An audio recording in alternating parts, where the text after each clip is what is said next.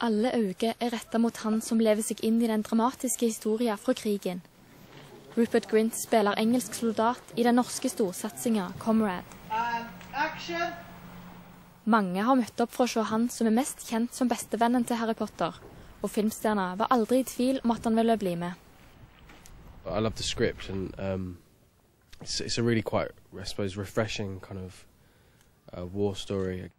I 1940 havna et tysk og to engelske fly i kamp. Skadene gjorde at både det tyske og et engelsk fly måtte nødlande på Grotli.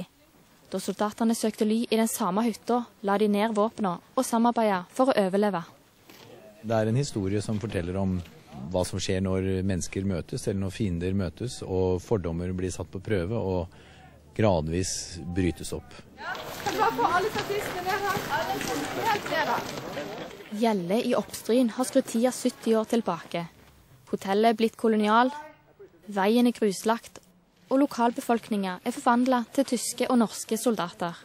Kan du få autograf? De lokale statistene er plutselig stjerner og ei erfaring rikere. Det er mye venting. Det er mye det det går på.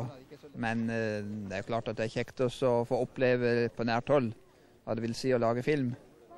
Det er jo eh, sånn som man ikke tenker på når man sitter kanskje i kinosalen eller hjemme i stua og ser på filmen hva som skal til for at det skal bli eh, noe å se.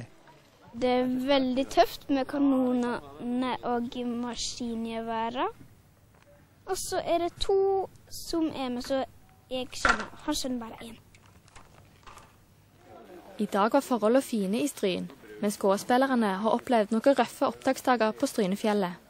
I don't think I was really prepared for kind of how extreme it was. Like when when the weather's really bad, it's it's kind of uh, impossible really to, to act. Really, you just you just kind of living it really. But um, glad it's over.